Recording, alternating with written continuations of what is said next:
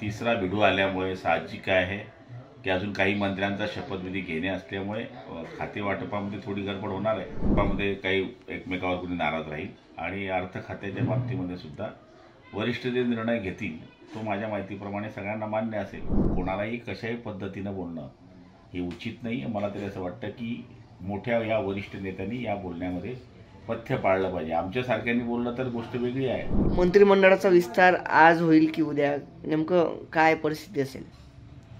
आज उद्यामध्ये होईल असं सगळं चित्र आहे. आणि मी पण मंत्रिमंडळाच्या विस्ताराकरताच थांबलो होतो.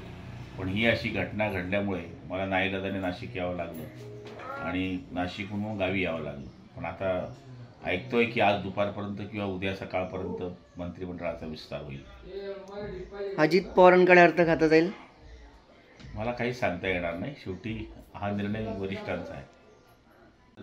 तिसरा भिडू आल्यामुळे साहजिक आहे की अजून काही मंत्र्यांचा शपथविधी घेणे असल्यामुळे अ, खाते वाटपामध्ये थोडी गडबड होणार आहे. त्यामुळे थोडा विलंब होतो आहे पण याचा अर्थ असा नाही आहे की खाते वाटपामध्ये काही एकमेकावर कोणी नाराज राहील. आणि अर्थ खात्याच्या बाबतीमध्ये सुद्धा वरिष्ठ जे निर्णय घेतील तो माझ्या माहितीप्रमाणे सगळ्यांना मान्य असेल.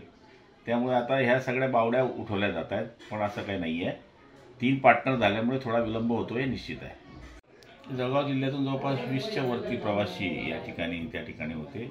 त्याच्यामध्ये मुडी गावाचे जास्त प्रवासी आढळून आले. भोकर गावाचे प्रवासी होते. आणि त्याच्यामध्ये दुर्दैवाने एकाचा मृत्यू झालेला आहे. दोन जण अतिदक्षता विभागामध्ये आहे बाकी काही प्रमाणामध्ये थोडेफार क्रिटिकल आहेत. काही चांगलेही आहेत. त्याच्यामुळे मला तरी असं वाटतं की हा अपघात झाल्यामुळे आपल्या जिल्ह्याचा पालकमंत्री म्हणून तिथे जाण्याची मला गरज होती आणि मी तिथे गेलो. आणि तिथल्या लोकांना जी मदत करायची आहे शासनातर्फे ती करण्याचं अधिकाऱ्यांना सूचना दिलेल्या आहेत. आपण काय सांगा मला तरी असं वाटतं की असे शब्द वापरण्यामध्ये काही अर्थ नाही आहे. टीका करणे टिप्पणी करणे हा प्रत्येकाला अधिकार आहे. पण कोणालाही कशाही पद्धतीनं बोलणं हे उचित नाही आहे मला तरी असं वाटतं की मोठ्या या वरिष्ठ नेत्यांनी या बोलण्यामध्ये पथ्य पाळलं पाहिजे. आमच्यासारख्यांनी बोललं तर गोष्ट वेगळी आहे. पण आपण राज्याच्या नेत्यांनी जर असं बोलायला सुरुवात केली तर मग खाली काय होईल हे त्यांना आवरणं मुश्किल होऊन जाईल.